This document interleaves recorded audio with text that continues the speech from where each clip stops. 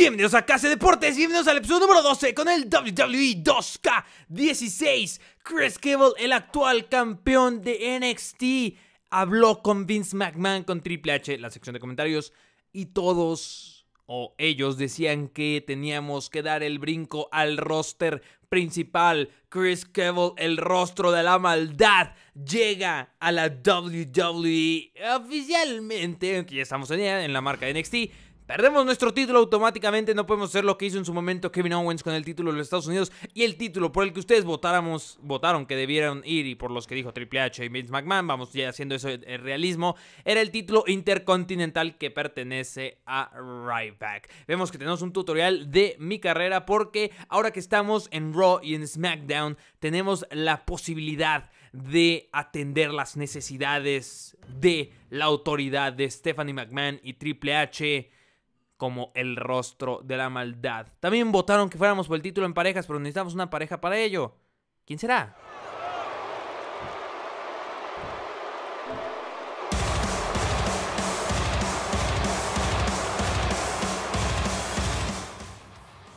¿Será que Chris Cable ha elegido aliarse con nada más y nada menos que el campeón mundial pesado de la WWE, Seth Rollins, el rostro de la autoridad. Ahí está Chris Cable. Entra y vean la cara de Seth Rollins sabiendo que puede haberse ganado un poderoso aliado recién salido de NXT. La gente en el público no lo puede creer. Chris Cable, que vemos que hay como una especie de controversia en su personalidad, ¿no? Que está manejando ahora también Vince McMahon, porque sabemos que en NXT es Triple H.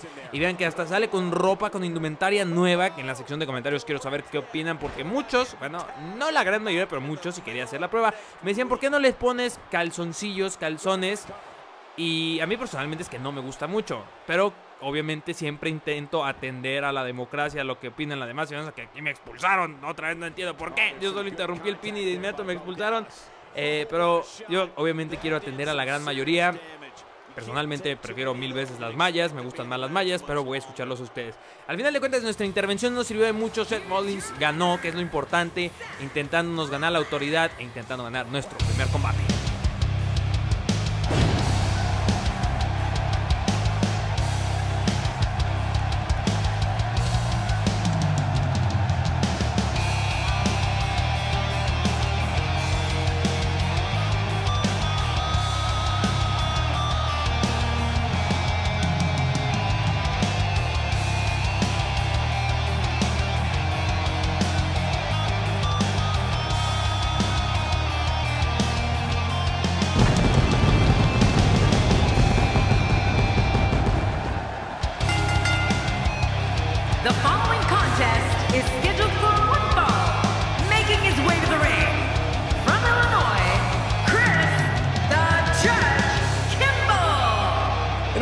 So negative, but this guy deserves every last boo he gets here tonight. You only get one chance to make a good first impression when this entrance is doing just that.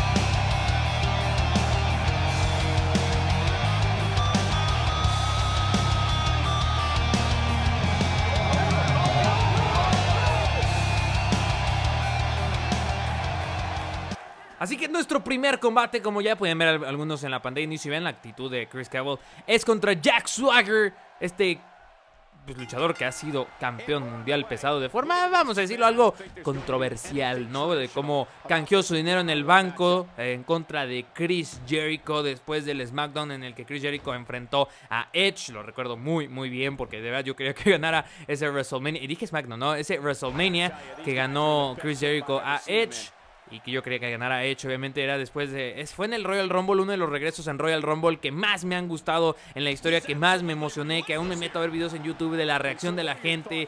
De, fue uno de los mejores momentos en mi vida en cuestión de deportes. Carlos, que la lucha libre no es un deporte, sí es un, deporte, es el deporte, espectáculo, la WWE y no solo está la WWE, está obviamente eh, en la NJPW, está TNA, está AAA, está Consejo Mundial de Lucha Libre, está Lucha Underground, hay muchísimo, muchísimo que ver de lucha libre. Eh, lucha libre callejera, de donde viene Kevin Owens, Kevin Steen, que también ves grandísimos luchadores, de ahí viene Kevin Owens.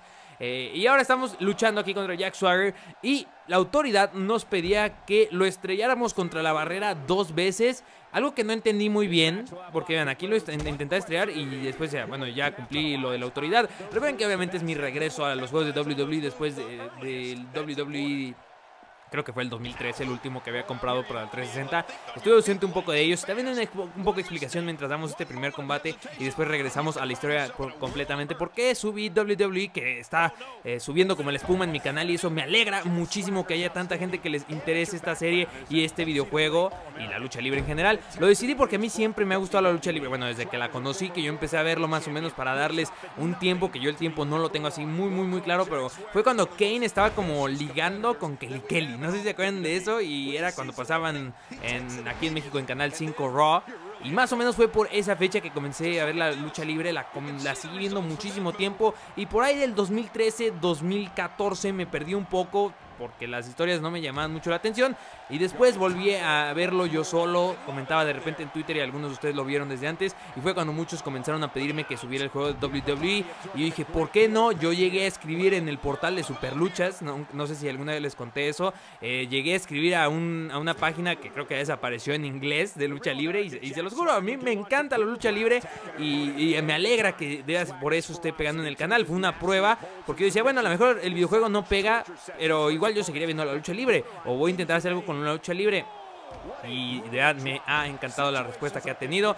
Y ahí ya cerramos ese paréntesis de la serie. Eh, ya saben en la sección de comentarios qué opinan de los calzoncillos. Y que nos intentemos aliar con la autoridad. Aquí lo que estoy tratando de hacer es algo que sucede mucho en la WWE. Que cuando llega una estrella de NXT, como que a veces pareciera que no supieran hacer con ellos. O sea, el equipo creativo de WWE no saben qué hacer con Chris Cable. Vemos que le cambian sus mallas. Parece que su gimmick este del rostro de la maldad se ve un poco golpeado porque atender a las necesidades de la autoridad no es exactamente lo que alguien malvado completamente haría, sino alguien simplemente gañañunfla, mayullero, que simplemente ve por su, por su bien, ¿no? Pero bueno, eh, espero que les guste este ángulo que le estoy intentando dar y vamos a ir desarrollando todo eso. A lo mejor Chris Cable sí se une a la autoridad, se hace pareja con Seth Rollins y pareja en la cuestión de la lucha libre, no sean mal pensados.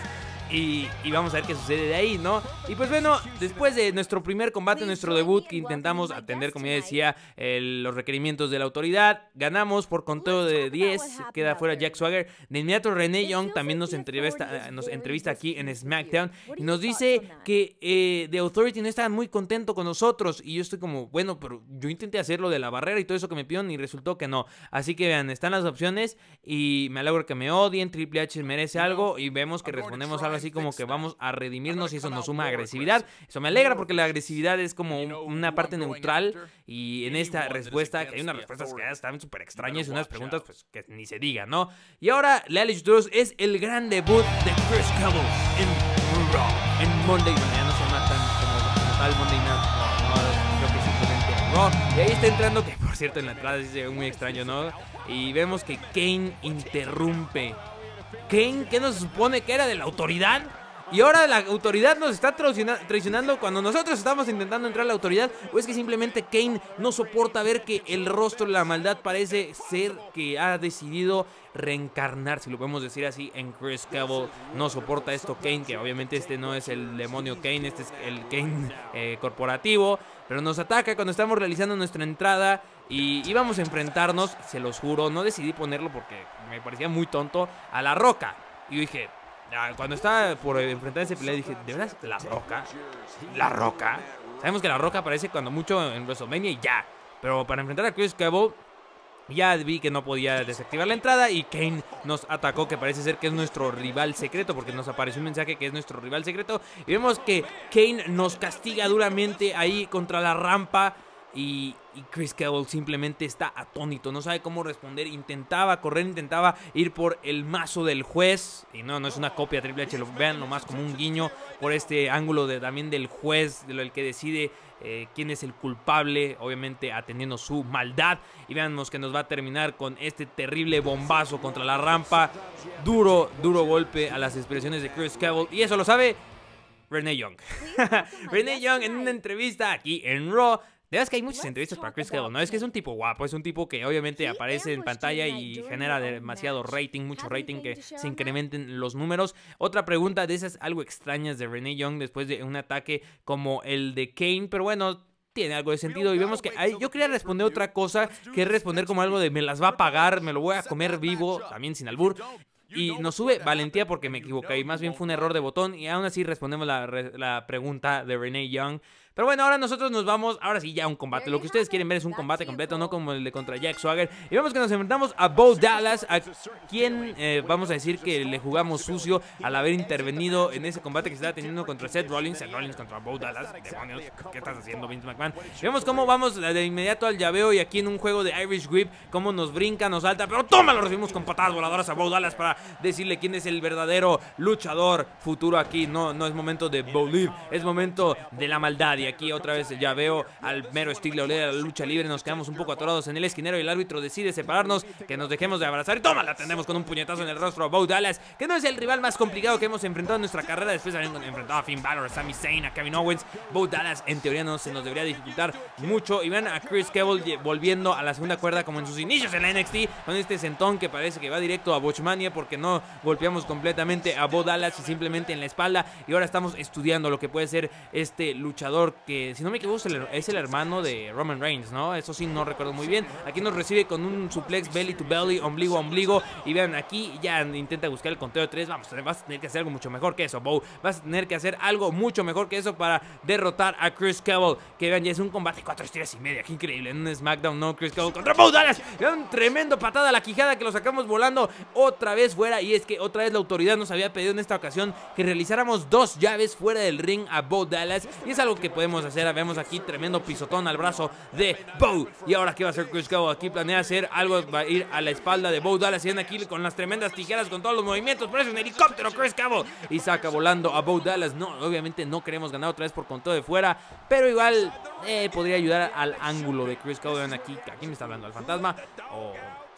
No, iba a decir algo muy tonto. Mejor no lo digo. Bo Dallas, que vean, después del tremendo castigo que le hemos propinado, comienza como a volverse algo loco, ¿no?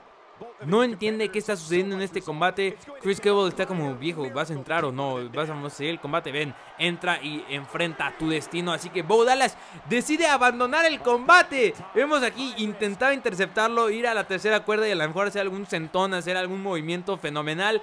Pero vean, Bo Dallas de verdad se está retirando. Ok, ok, por mí no hay problema, te puedes retirar, Bo Dallas. No sería el primer combate que ganamos por conteo. Y aquí es cuando Chris Cable dice, así que te quieres ir, pero ve, todo el público que vino, ve todo el público que pagó su boleto para ver un SmackDown sensacional, que parece que de esos escasean algo en la actualidad. Y Chris Cable dice, bueno, tenemos muy cerca nuestro movimiento personal, así que vemos que lo empezamos a cargar, lo empezamos a cargar y vamos por Bo Dallas. Bueno, te quieres ir, no te vas a ir sin un regalito de Chris Cabo. Vamos a cazar a Bo Dallas, que ven ahí todavía se le estaba pensando, regreso o no regreso. Y ahí va Chris Cabo, Bo Dallas no se ha percatado a pesar de que estamos de frente a él. Y vamos a aplicar nuestro movimiento personal, el rostro de la maldad. Así castigamos a Bo Dallas y ahora vamos a cargar la raíz de toda la maldad aquí en la rampa a Bo Dallas y enseñando a toda la WWE nuestras intenciones. Rostro de la maldad.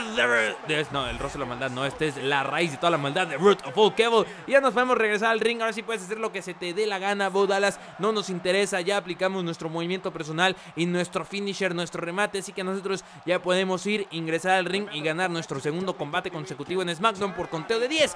Como todo un heel, como todo un rudo. Vean ahí, Bo Dallas quedó todo pues, atontado, si lo podemos decir así. Pero bueno, con algo con vida, ¿no? Pero eso ya no importa porque al final de cuentas ganamos el combate, salimos victoriosos y seguimos sumando puntos aquí en la WWE. Espero que para la autoridad, que así ya les di un poco la idea que tengo con la autoridad, con este gimmick. Espero que les guste y espero que en la sección de comentarios, como siempre lo hacen, den su opinión, den su comentario, qué les gustaría hacer. Aquí, por ejemplo, no entendí esto, que sale la barrita roja pero no sé si está yendo hacia favorable o sale roja porque está en desfavorable. Ahí no entiendo muy bien, vemos que podemos contratar a un manager. Yo ya les había explicado que a mí me hubiera encantado que fuera Sasha Banks, pero Sasha Banks no está en el juego, ni Charlotte, ni Becky Lynch. Eh, que son tres luchadores que fueron introducidas hace poco por Vince, eh, por Vince McMahon, por Stephanie McMahon. Y de verdad, de todas estas opciones, ninguna me gusta. Todas son como que no van con el, con el personaje, con la personalidad de Chris Cole. En todo caso sería Page, pero que aparece como una técnica, como una face. Así que probablemente no contratemos a ningún manager de esos.